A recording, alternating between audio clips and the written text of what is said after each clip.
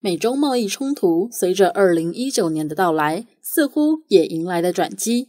中国以及美国高层官员一月三十号以及三十一号在华府举行贸易谈判。美国总统川普在三十一号的推文当中也表示了双方的会谈进展十分顺利。川普在周五时也表示，可能会在下周正式的宣布，在他即将到来的亚洲之行期间，是否会与中国国家主席习近平进行会面。美国官员表示，中美两国正在努力的安排领袖两人在二月底进行会晤，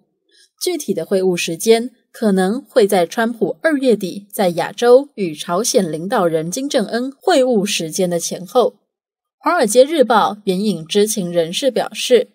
中国方面建议川普在美朝峰会过后前往中国海南会晤习近平。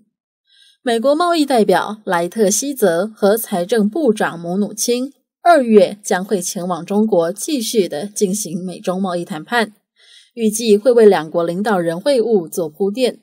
莱特希泽表示，他们很快的就会离开，但是姆努钦表示，具体的日期还没有定案。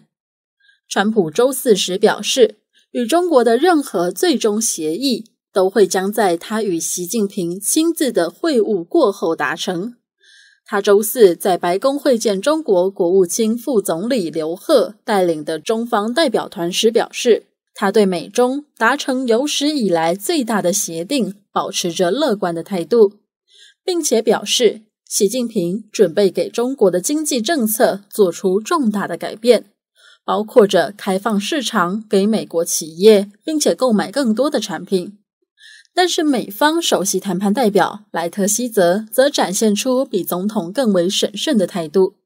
他承认谈判已经取得了进展，但是也强调谈判的焦点是结构性的问题和如何执行，离达成最终协议仍然有距离。虽然在贸易谈判的进程上有着不同的声音，但是中美两国领袖会晤一事似乎在近期之内就能有所定论。就让我们静待下周美国官方所公布的消息。民进电视记者李庆瑜整理报道。